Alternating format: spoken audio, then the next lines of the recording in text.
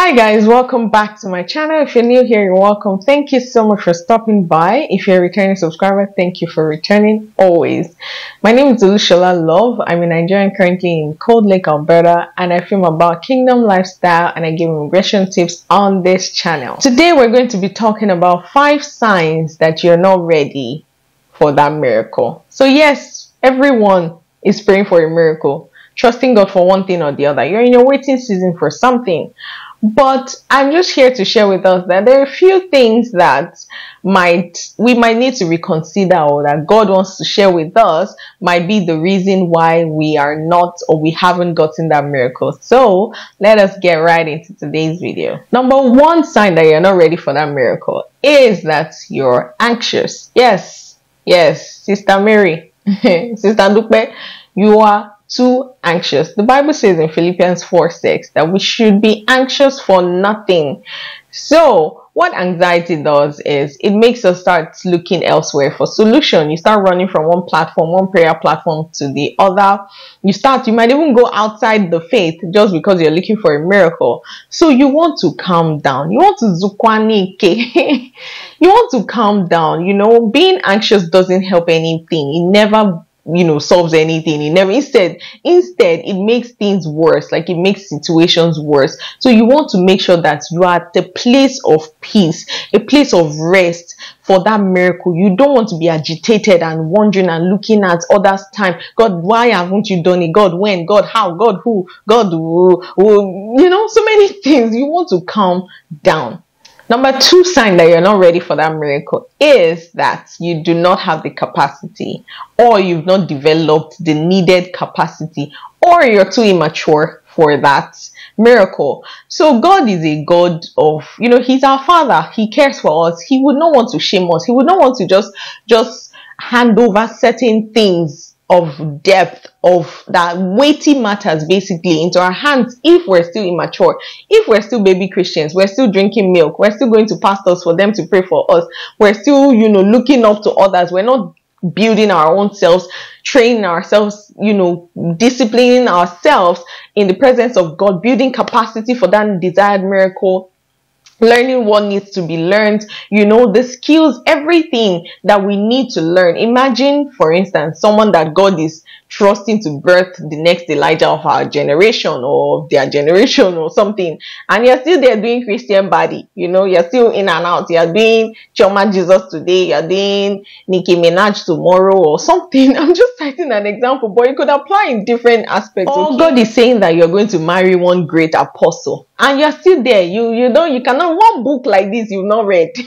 or maybe you are even trusting God that God give me a kingdom man, a Christian man, a man that loves you a woman that loves to pray, a woman that this, what you are praying for is also praying for you. Uh, praying, you have been praying for that stuff. I don't even know how to put it. You want a woman that loves to pray. A woman that loves to pray wants a woman that, a man that loves to pray. So if you're, you're praying for that, you should also be developing, building yourself up for that so that when your spec sees you. You know your spec is your specs you are your spec spec right?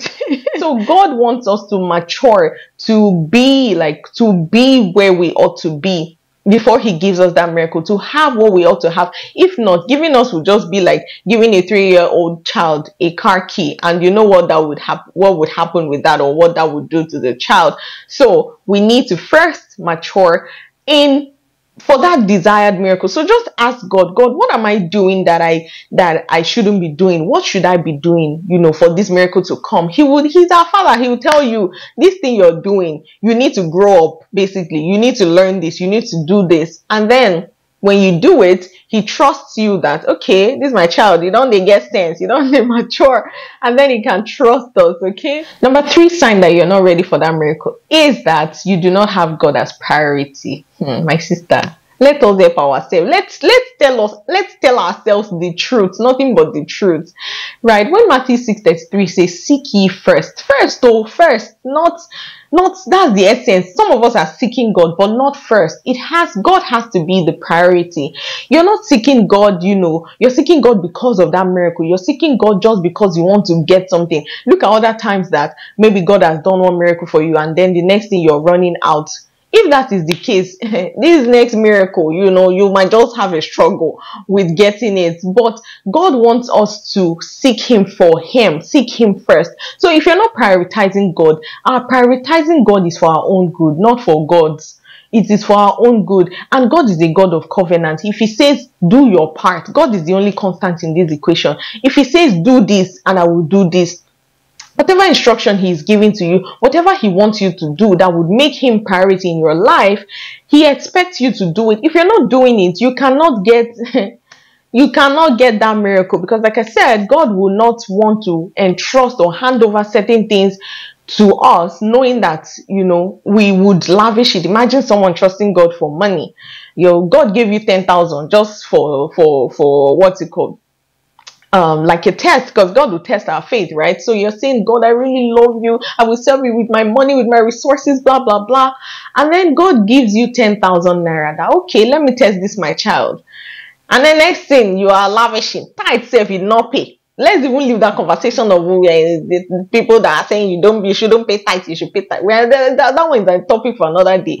But I'm just saying, you, nothing in that 10,000 went to the work of God, went to, you know, humanity, did nothing you just lavished it and then you're trusting God for one million. Please, how? How? If you man to man, man to human being to human being, would you give that person any other money?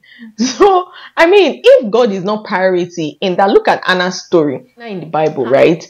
Um, she was trusting God for a child, and until she made that that covenant, really, that promise that God, if you give me this child, I will give him back to you. Now, some people will say, eh, "Are you saying that God is God is a God is a good God? He will not go See that one. I'm not there. Go ask God. But I'm just saying that sometimes there would because God honors His word and honors is a God of covenant. The fact that she put that as priority, that God, this one is for you you know, God was committed. When we commit God, especially in the first place, we give him the first place, he will be committed to everything. It's just, it's just how he is. It's just what his word says. It's just give me my own place first. And then every other thing, I will be giving it to you. So it's very important that in that miracle, in that thing you're trusting God for, have you thought about it that if it happens, is God going to take the glory? Is God going to be at the center? Or you'll be hiding Jesus? Or to even give testimony you'll be saying so i i i i you know so i now i now got these skills. I now i now everything I, I, I don't even know what breakdancing but basically give god his place and you would see that that miracle would come faster than you even expected. Number four sign that you're not ready for that miracle is that you're not happy for others or you're envious of other people's blessings. See this one we might just all be guilty of this, but let me just emphasize this. See, if you're the type that you see other people's blessings or miracles as you know, it's bugging you. You're looking at them and you're like, is it only them? I beg it's for the ground. I beg you every day, every day, them, every day on testimony. I beg you, maybe they're even adding something else. Things don't used to happen like that for people. These people should, should start lying to us. They should tell us what is really there, what is in this thing see, you might just need to go for retreat ASAP because you have to be happy for others. You have to, you know, embrace the fact that God is in your neighborhood. If not anything, hold that that God that did it for these people. He's no respecter of persons. If they did something, they shared their testimony with you and they did something in line with scriptures, do same and you would see it happen to you as well. Do not be at the back and be doing yimu and be following the world standards and be saying, I beg, I beg you. They should get out there and their blessing is only them, them. You cannot follow world standard in this kingdom. Let us just be guided. I remember one time that God did something for someone and you know I just saw it and I was like, ah, God. And my mind was like, God, ah, now wow. You know, there was just this thing that just came to my mind. And then I was almost feeling like, ah, what's going on, you know, for my own self. And the Holy Spirit just cautioned me. Hey, thank God for the Holy Spirit that do not compare. I tweeted that thing that do not compare your uh, your planting season to someone else's harvest you know? So it i mean at that point I god i repent. I'm sorry. I'm sorry. I'm happy for them. Oh god thank you. Thank you for doing it for them. You know we just have to work on our hearts because the devil is fighting like a real like battle for us to just be envious. And I mean that's how it starts. You become you become jealous, you become envious, you become covetous, you become angry unnecessarily, you just hate somebody just because God is blessing them and your own hasn't happened. So that really gave me a shut up like do not compare. Then in the harvest season yours is coming. Keep planting keep sowing the seed. You know do not give up and keep doing what god says to do. And in no time your own miracle your own blessing your own testimony would come Number five sign that you're not ready for that miracle is that you doubt God. Mm-hmm. Yep, I said it. you're unstable. You're neither here nor there.